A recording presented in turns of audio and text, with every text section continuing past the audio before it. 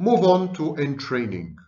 There are many nonsensical myths, urban legends, and fables online about narcissists. One of the most prominent is that the narcissists have a special gaze. They have a special, if you look into their eyes, you can see that they have no soul, and other such utter nonsense. There's also shoddy pseudoscience perpetrated by alleged scholars. And so lately there's a study published saying, and the study discovered, that narcissists have special eyebrows. They have very thick and special eyebrows. Yes, I do. But many narcissists don't, trust me. I have a database of 1,800. So there's this pseudoscience, it was published in a, and um, it won the Ig Nobel Prize. You know, there's the Nobel Prize for good scholarship, and there's the Ig Nobel Prize. The Ig Nobel Prize is prize given to utterly inane, idiotic, idiotic and outlandish studies published. And so this is one of them, and it had won the Ig Nobel Prize. Many, many of these stories about body language, about gaze, about the eyes of the narcissist, the eyebrows of the narcissist. Even I have read analysis of the genitalia of narcissists. I'm kidding you not. Many of these are not grounded in any research or studies. They are anecdotal, and even then, the anecdotes are clearly projection. You're projecting into the narcissist your fears, your hurt, your pain. You want to believe that the narcissist is demonic and soulless and so on and so forth, so you do. However, there's one myth, one ostensible myth, one urban legend which seems to be quite true.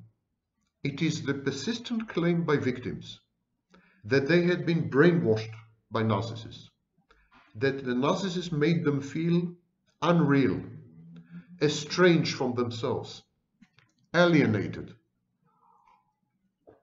that they felt depersonalized, and derealized that they felt that they were becoming a figment of the narcissist's mind, a real extension, that they lost um, voluntary control of their actions, choices, and decisions. This is a persistent claim by many victims. And I think it's a real one. I think it starts with the grooming and the love bombing. And I think what the narcissist does, starting with these phases, he engenders a dissociative state in the target, in the, in the would-be uh, source of narcissistic supply or future potential uh, intimate partner. When the narcissist interacts with you, he causes you to dissociate he does this using intermittent reinforcement, trauma bonding, approach avoidance. There are many techniques, verbal abuse. Um, the narcissist uses a, a multiplicity of techniques and then makes you dissociate, causes you to dissociate. It's a little like hypnosis. Technically, I think when you're interacting with the narcissist, in many cases, it would qualify as a hypnotic session. You're under hypnosis. This is especially easy to achieve, to accomplish with borderlines and codependents. They even go into these trance-like states, codependents and borderline, go into these hypnotic trance-like states, even in therapy, because they these um, kind of people relegate, transfer the regulation of their emotions and their moods to their intimate partners. The borderline tells the intimate partner, please regulate my emotions. Codependents says, my mood depends on you. So they, a lot of the functions that are intrinsic and internal in healthy people are performed by the intimate partners of borderlines and codependents. So they have a lot of power. They have an inordinate amount of power over the intimate partner. And the narcissist, and of course the psychopath, they abuse this power they leverage it to create this trance-like state of hypnosis. And the clinical way they do this, the technical way they do this, is called entraining. And I haven't seen a single video online about this. I haven't seen a single video explicating that the narcissist uses entraining to brainwash and, uh, his intimate partner and to induce a trance-like hypnotic state in her, which is very long and permanent and which causes feelings of amnesia, um, depersonalization and derealization. In other words, cause massive dissociation in the, in the victim. And to explain to you what is entraining, I'm gonna I'm gonna quote at length from a book called The Brain's Way of Healing. It was written by Norman Doidge, D-O-I-D-G-E. He's a medical doctor. Listen well, and this this segment, this excerpt that I'm going to read is about music.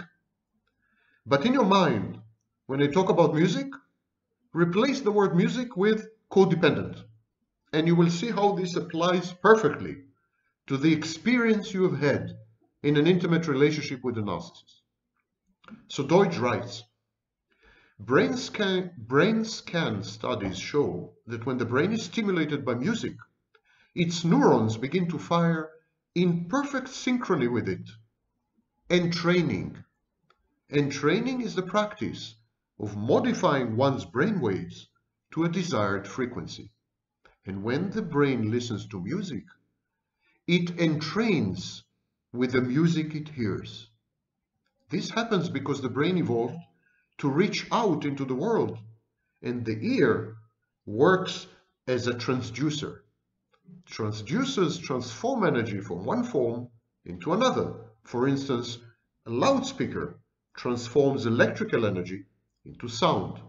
The cochlea inside our ear transforms patterns of sound energy from the external world into patterns of electrical energy that the brain can use internally.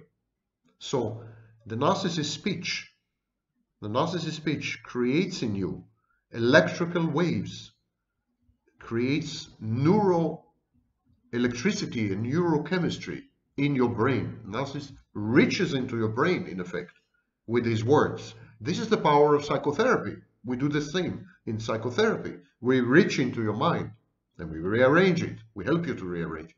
We help you to make sense of the world. Of the world. Narcissist does the same.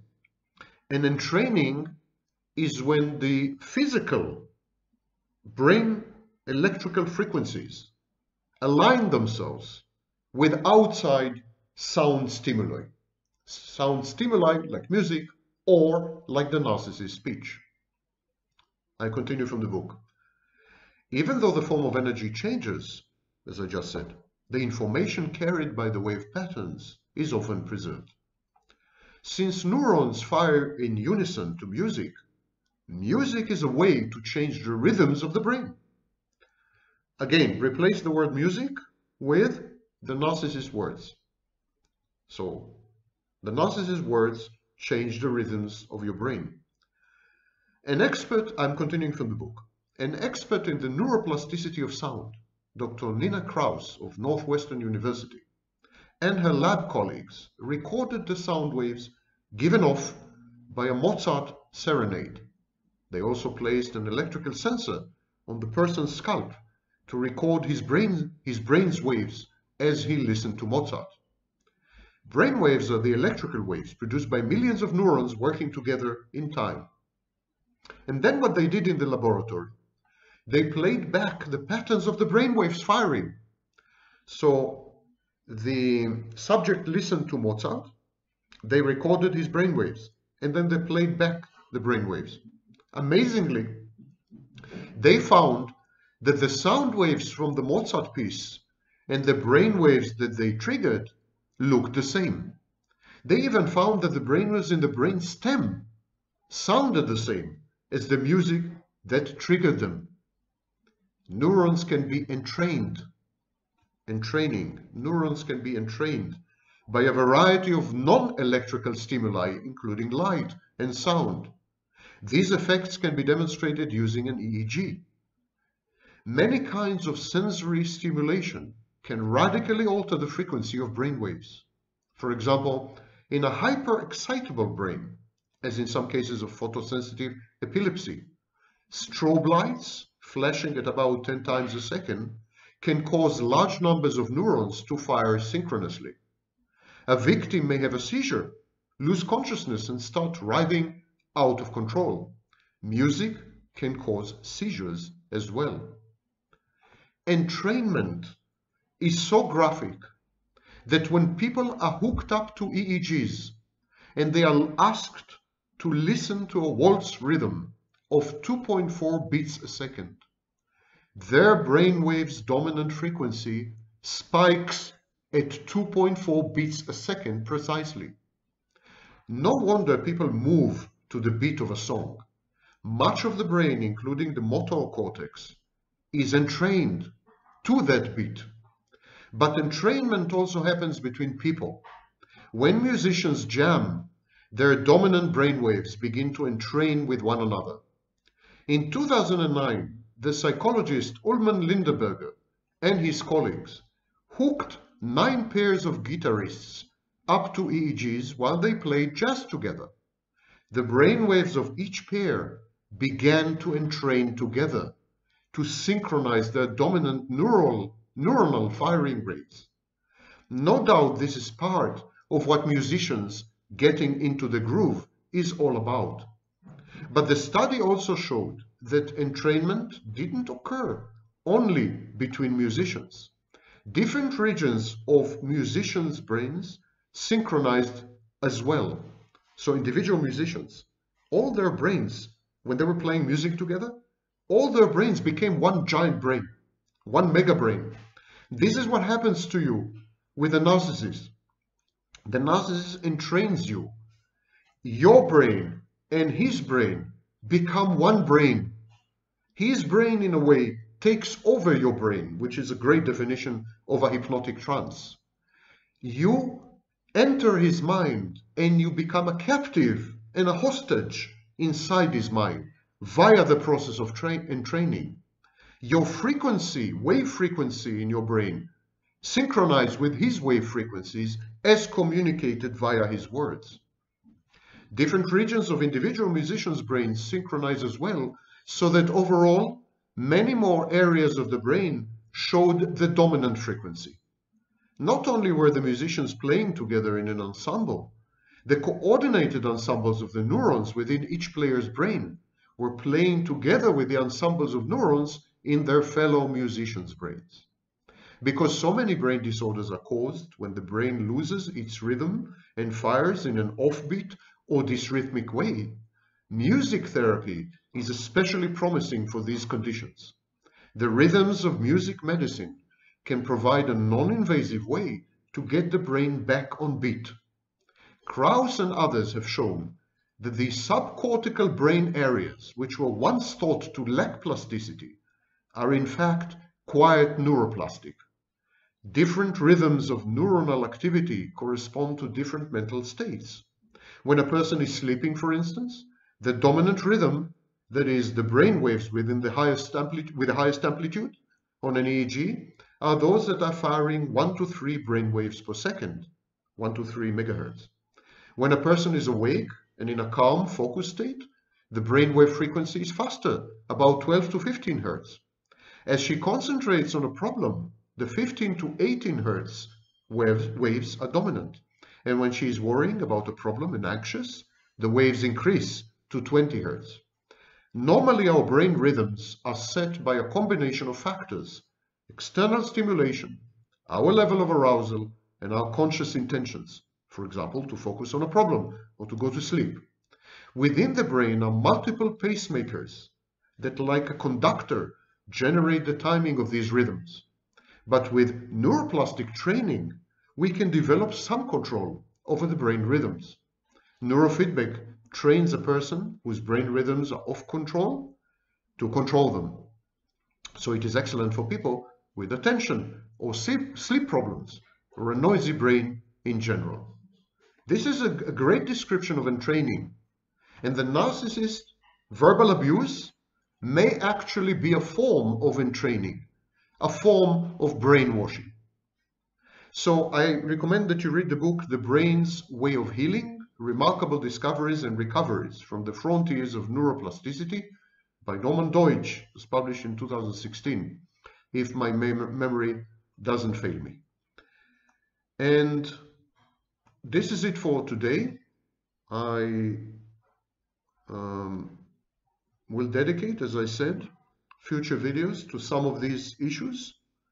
But in today's video, I wanted to give you, give you the rudiments of the somatic shared fantasy and how narcissists take over your brain, in effect. How they enslave you, how they make you mindless in their presence. This possibly is happening by inducing a dissociative hypnotic trance via the technique of entraining.